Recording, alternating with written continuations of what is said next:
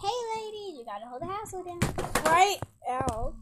Why can't you just get an education for yourself? You still can work, still take care of your kid. I did. You can do it too.